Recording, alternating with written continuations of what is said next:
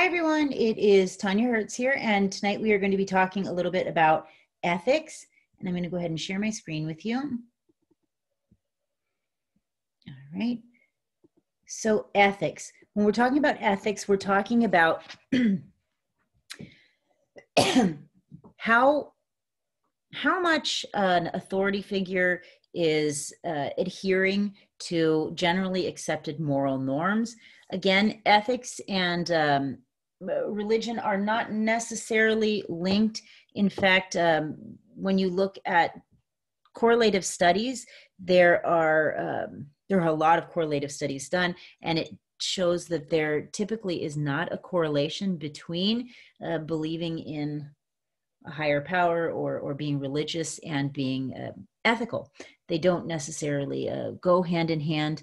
Um, in fact, there are some research studies that show that people who are um, very have very deeply held religious views and are um, uh, fundamentalists, uh, they tend to uh, very often behave less ethically, and so um, not always true. Again, this is just an aggregate, and and um, and for individuals that could be that could be different. Some people uh, may need to have some sort of faith in order to behave morally, but it's just not true for everyone. Okay, so um, there's a lot of research that shows why people behave ethically, why people behave unethically, and um, you know how and why people actually violate these these norms. and we look at behaviors that are becoming um, somewhat prevalent in organizations and, and why that's happened. And, and we see that um, unethical behavior, it, it, it is happening. Uh, to a large degree in in organizations. And and those behaviors they could be illegal or they could be um, legal but unethical right? So um, that's another another point that that I, I should make is that um, illegal does not necessarily sorry mean unethical and unethical does not necessarily mean illegal okay? People can behave completely uh, 100% um, unethical and it could be 100% adhering to the law uh, right? Um, and and they could be behaving in a highly ethical manner and it could still be illegal right? So there are four components of ethical decision making and we'll go through them one by one but it's important to note that the context is important. Uh, you've heard that saying, one bad apple can spoil the whole bunch.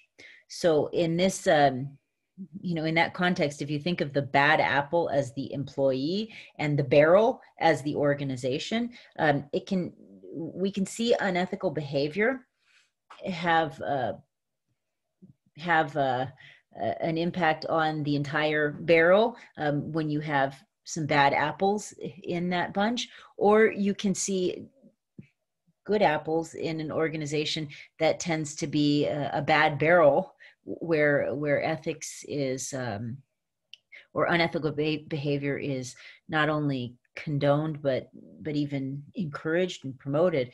And those uh, generally good apples or, or, people who don't behave unethically can begin to behave unethically. It's one of those um, it's one of those things that can spread very quickly in an organization. So we as leaders in an organization, we want to lead from the top and and to encourage ethical behavior and to cut off uh, unethical behavior at, at, the first possible chance that we can. So a large uh, portion of being able to to behave ethically and to make sure that your employees behave ethically is to um, be morally aware right? So this is um, this is when we as uh, as as leaders in an organization we pay attention. Um, we recognize um, that we recognize when a moral issue actually exists and that degree it depends largely on our moral attentiveness.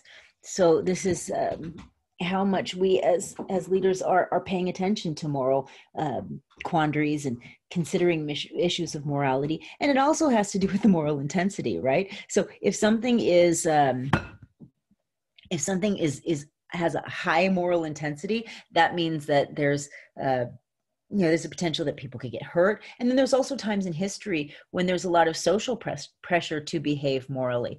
And um, and during those times that's a higher moral intensity time. And if when you when you put those two considerations together that will um, that's uh, that will dictate how morally aware uh, a person or organization will be. Um, moral judgment this um, this is the the stage in the process where we actually will uh, determine what is the the the morally right course of action the right thing to do. So remember with with ethics it's not clear cut. So it's not like the law. It's not um, this is a clear this is right and this is wrong. There are gray areas and many gray areas. And it's um, it's dependent upon the uh, it's dependent upon the the leader in the organization to identify the right course of action for um, you know for that organization and for the people in the organization. And um, it, it, it, depends largely on uh, how how developed that person is in terms of their uh, morality right? And there are different stages of cognitive moral development and um, and so going through each of the stages this pre-conventional conventional and um, post-conventional or principled. Uh, you see often this um, the, the, bulk of the population is in the conventional stage of, of moral development. That's when when we as people are making decisions about morality based on what other people expect of us, um, what we, um, what our family expects of us, what society expects, what um, you know, what would happen if if we made a decision and it was on the front page of a newspaper. Um, when you're making decisions based on on questions like that, that's a really conventional um, moral development. Um, if you are uh, if you're making decisions about right and wrong um, thinking about how would my grandma feel if i did this and and i think all of us have, have maybe been at that stage at some point in our lives where where we um, you know we think about things like this. Or um, thinking about right and wrong um, based on what would happen if everybody eh, behaved this way right? What if what if everybody speeded? What if everybody broke the law? How would that affect society? That's a very um, it's a moral um, development um, and it's a very conventional moral development. It's it's development past the pre-conventional stage and the pre-conventional stage is when we're making decisions about right and wrong based about based upon uh, consequences for us right? Um, how would how would it affect us? So children are at the pre-conventional moral development stage. So they might not take away a toy from another child because they know they'd get in trouble. They'd get um, you know they'd maybe get put into timeout or get their hands smacked or something like this right? That's a pre-conventional uh, moral development. And you can see a lot of adults are still at that stage. Um, a lot of older adults are at that stage where they don't speed because they don't want to get a ticket right? They don't break the law because they don't want to spend time in jail. That's a pre-conventional uh, moral development. Now uh, most moral adults will progress past that stage to more of a conventional level and they'll think more about society at large and their family and their reputation. Uh, but then there's even a stage past that, um, a higher type of moral development, a more principled moral development. And that's when we, we reference um, whether or not a decision is right or wrong based on, on our own deeply held principles and beliefs. And uh, we'll make decisions and you even this is when you even take law out of it right so you don't care about whether or not you could go to jail for it or if it's um, you know what society thinks but is it truly the right thing to do um, you know sometimes it might even be illegal but uh, but but still the right thing to do and um, i often think about uh, when when it was when we still had segregation in this country and um, there was a, a, group of, of Americans and mostly Black Americans who went and sat at the lunch counter and demanded to be served in an all white restaurant. That is uh, a principled post conventional uh, moral development. And you see that right now with what's happening in society with a lot of people who are standing up for, for, for rights, for things that they believe is, uh, is unfair in this country, even though it means sometimes for them financial ruin, it means um, it, might mean going to jail for, for what they believe in. But that's a highly principled level of, of moral development. Doesn't have you doesn't have to necessarily be against the law in order for it to be principled or post conventional, and hopefully it wouldn't be in a in a more principled society. Um, but sometimes that does happen. Right? Uh, so another component of, of moral decision making is uh, the intent, and that's how committed we are uh, to a course of action, and that's really driven by how we see ourselves as as, um, as a moral person or how we look at ourselves in general. And um, you know, some one example I like to give sometimes is is you know, imagine that you had access to the the midterm that I'm that we're going to be taking in this class here, and one of the students says, "Hey, by the way." Um, you know, Professor Hertz put the midterm up and she didn't realize that she had the answers there for an hour and I downloaded all of them. You know, they're not there anymore, but if you want them, I could give them to you. Right now, what would you do? Right? What would you do? Now, if you were uh, at the pre-conventional level, you might not you might not cheat on that exam because you're afraid of getting caught that's pre-conventional at the conventional level you might not cheat on them because you think well then my degree doesn't have a lot of of of, of weight and and what would my um, what would my mom think of me? And what would my spouse think of me? And uh, if i did cheat um, at the conventional or principled level you would just say uh, no i i'm not the kind of person who believes in this and i, I just wouldn't do it. It's against uh, my moral beliefs. And how moral you see yourself um, will have a big impact on whether or not you would cheat on the exam. And um, i hope none of you would. I don't think you would so how important is trust? Um, back to the back to the question that we ask all the time. We, we look at all of these different variables in relation to job performance and organizational commitment. And there is um, a correlation between trust and um, and each of these. Uh, so trust has a moderate positive correlation or effect on uh, job performance.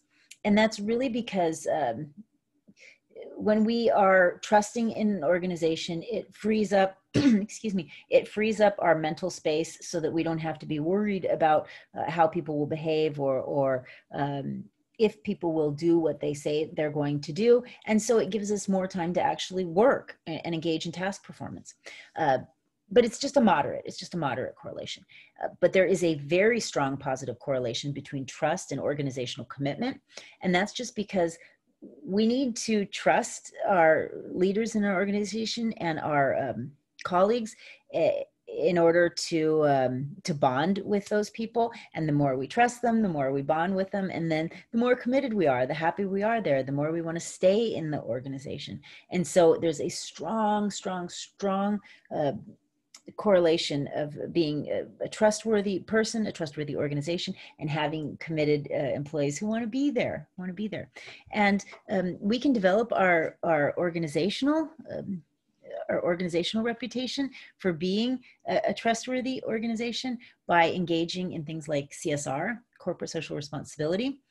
And there is, of course, a legal, an ethical, and a social component, but but um, CSR, corporate social responsibility, largely is an ethical consideration, not as much a legal consideration.